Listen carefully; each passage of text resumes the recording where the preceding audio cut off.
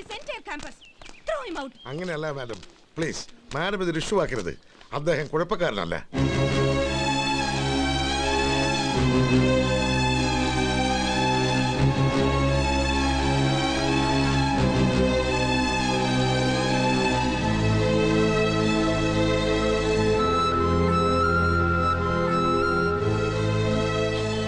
ഇതിൽ തൊട്ടുപോയത് മാഡം ഞങ്ങൾ ഇദ്ദേഹത്തെ ക്ഷണിച്ചു വരുത്തിയതാണ്. എനിക്കറിയാം ഒരിക്കൽ ഇവനെ ഞാൻ ഇവിടെ നിന്ന് പുറത്താക്കിയതാണ്.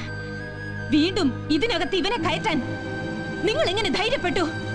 ആരാ നിങ്ങൾക്ക് അതിന് സമ്മതം തന്നത്. ഇവന് കയറിയിരുന്ന് പാടാനുള്ളതല്ല ഇത്. അതിനല്ല ഞാനിതിവിടെ സൂക്ഷിച്ചിരിക്കുന്നത്. മോനെ കൃഷ്ണ. ഫാദർ ഒന്ന് ചുമ്മാതിരി. ഈ പെണ്ണുമ്പിള്ള എന്നെ എന്ത് ചെയ്യുമെന്നാ പറയുന്നത് ഇവർക്കിനി എന്നെ ഒന്നും ചെയ്യാൻ കഴിയില്ല. ചെയ്യാവുന്നതിന്റെ പരമാവധി ഇവർ ചെയ്തു കഴിഞ്ഞു. ഇറക്കി വിടുന്നുണ്ട് അവനെ. അത് പണ്ട് എട്ട് വർഷം മുൻപ്. അന്ന് ഇതിനകത്ത് കയറി ഈ സാധനം വായിച്ചെന്ന് പറഞ്ഞ് നിങ്ങൾ എന്നെ പുറത്താക്കി. എന്റെ പഠിപ്പ് മുടക്കി. ഒരു തെറ്റും ചെയ്തിട്ടില്ല എന്ന് പറഞ്ഞ് ഞാൻ മാപ്പ് എഴുതി തന്നില്ലേ? ഈ കാലിൽ നമസ്കരിച്ചില്ലേ? പരീക്ഷയെങ്കിലും എഴുതിക്കോട്ടെ എന്ന് പറഞ്ഞ് കെഞ്ചിയില്ലേ? അന്ന് ഇറങ്ങിപ്പോയി ജീവിതം മരവിച്ച വിശാൽ കൃഷ്ണമൂർത്തിയല്ല ഈ ഞാൻ? ക്ഷണിക്കപ്പെട്ടു വന്ന അതിഥിയാണ്. എന്നെ ക്ഷണിച്ചത് നിങ്ങൾ ഈ പ്രിൻസിപ്പൽ അച്ഛനൊന്നുമല്ല തൽക്കാലം അമ്മച്ചി ഇത് നിങ്ങൾ ഇനി തൊട്ടുപോകരുത് ഇനി ഇതാരെങ്കിലും തൊടുന്നുണ്ടെങ്കിൽ അത് ഞാൻ മാത്രമായിരിക്കും. ഞാനേ ഇത് വായിക്കൂ?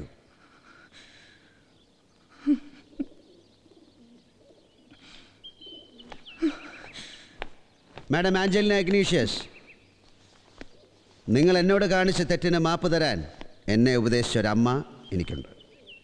വാശി കാണിച്ച് പണ്ടത്തെ പോലെ എന്നെ പുറത്താക്കാൻ ആളെ വിടാനുള്ള വല്ല ചിന്തയുണ്ടെങ്കിൽ അമ്മയ്ക്ക് കൊടുത്ത വാക്ക് ഞാനും മറക്കും. മോനെ എന്തിനാ നീ ഇത് വായിച്ചത്? ഞാനൊന്നുമല്ല ഫാദർ വായിച്ചത്. പോടാ ഇന്നലെ നീ ഇത് വായിച്ചത് ഞാനും കേട്ടതല്ലേ? ഞാനല്ല ഫാദർ വായിച്ചത്. പിന്നെ ആരാ വായിച്ചത്? മനുഷ്യനെ ഭ്രാന്ത് പിടിപ്പിക്കരുത്. ഫാദർ ഒന്ന് ചുമ്മാതിരി. അവരെന്ത് ബഹളം വെച്ചാലും ഇതിന്റെ സത്യം അറിയാതെ ഞാൻ പോവില്ല. ഞാൻ ഇത്രയും കാലം അനുഭവിച്ച വേദന അതെന്തിനായിരുന്നു? ആർക്ക് വേണ്ടിയായിരുന്നു? എനിക്കതറിയണം. ഞാനത് കണ്ടുപിടിക്കും. കണ്ടുപിടിക്കാതെ ഞാൻ ഇവിടുന്ന് പോവില്ല. ആരായിരുന്നു അച്ഛോ? അച്ഛന്റെ ആ മേരി. ഏത് മേരി? അച്ഛൻ എഴുതിയ കഥയിലെ നായികയ്ക്ക് ആദ്യം മേരി എന്നല്ലേ അച്ഛൻ പേരിട്ടത്? ആ മേരി. അതങ്ങനെ ആരെയും ഉദ്ദേശിച്ച പേരല്ല. കുട്ടികൾക്കൊരു പ്രോഗ്രാം വേണം. അതിനൊരു കഥ വേണം. രണ്ടു മൂന്നെണ്ണം കുട്ടികൾ തന്നെ എഴുതി. അതൊന്നും അത്ര നന്നായിട്ട് തോന്നിയില്ല. കുറെ കാലമായി മനസ്സിലൊരു കഥയും കൊണ്ട് നടക്കുന്നു. അത് കുട്ടികളോട് പറഞ്ഞപ്പോ അവർക്കും അത് ഇഷ്ടപ്പെട്ടു. അതിനൊരു നായികയെ വേണം. മനസ്സിലെപ്പോഴും മാതാവുള്ളത് കൊണ്ട് മേരി എന്ന് പേരിട്ടു. നീ അവളെ പുറത്താക്കി മറ്റൊരു പേരിട്ടു. അതോടെ അവളിപ്പോ നിന്റേതായി. അപ്പൊ മറ്റവനോ? ഏത് മറ്റവൻ? നിഖിൽ മഹേഷ്. അങ്ങനെ ഒരു പേര് അച്ഛന്റെ ഈ തലയ്ക്കകത്ത് വരാൻ വഴിയില്ല. അതും നേരാ. അവനായി എന്തെങ്കിലും ഒരു പ്രത്യേക പേര് വേണമല്ലോ കർത്താവെ എന്ന് ചിന്തിച്ച് നടക്കുമ്പോഴാണ് മുമ്പെങ്ങോ മാഡം ഇവിടെ ഒരു ഒക്കേഷൻ ക്ലാസ്സിൽ കോളറിച്ചിന്റെ കവിതകളെ കുറിച്ച് അവതരിപ്പിച്ച ഒരു പ്രബന്ധം എനിക്ക് വായിക്കാൻ കിട്ടിയത്. അതിൽ അവരെഴുതിയ ഒരു വാചകം എന്നെ വല്ലാതെ ആകർഷിച്ചു. എന്ത് വാചകം? ഈശ്വരൻ നിറച്ചു വെച്ച മഹാസാഗരം പോലെ എനിക്ക് ചുറ്റുമിതാ പ്രണയം ശാന്തമായി ഒഴുകുന്നു. അതിൽ ദിക്കറിയാതെ എന്റെ ഹൃദയമഹേശ്വര ഗായകൻ എവിടേക്കോ ഒഴുകുകയാണ്. അത് പ്രണയത്തെക്കുറിച്ചുള്ളൊരു കവിതയായിരുന്നു. അതിലെ ഹൃദയമഹേശ്വര ഗായകൻ എന്ന വാക്ക് ഞാനിങ്ങ് എടുത്തിട്ട് അവിടെ നിഖിൽ എന്നൊട്ടിച്ചു വെച്ചു. അതോടെ അവൻ നിഖിൽ മഹേശ്വരനായി.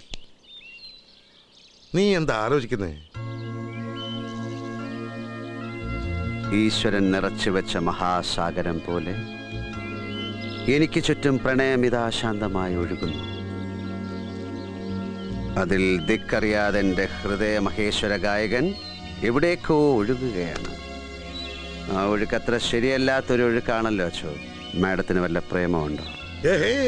ഞങ്ങൾ തമ്മിൽ അങ്ങനെയൊന്നുമില്ല. അച്ഛന്റെ കാര്യമല്ല ചോദിച്ചത്. അവർക്ക് മറ്റാരെങ്കിലും സ്നേഹിച്ചൂടെ? ആ മ്യൂസിക്കൽ ഇൻസ്ട്രുമെന്റ് മാഡത്തിന് എവിടെ നിന്ന് കിട്ടിയതാണെന്നറിയാമോ? ഒരുപക്ഷെ അതായാൽ മാഡത്തിന് സമ്മാനിച്ചതായിക്കൂടെ? ഒരു കാമുകൻ ഇത്രയ്ക്കും വലിയ സമ്മാനം കൊടുക്കൂ. അതിലും വലിയ സമ്മാനം കൊടുക്കുന്ന കാമുകന്മാരുണ്ട് അച്ഛോ അച്ഛൻ കാര്യം പറ.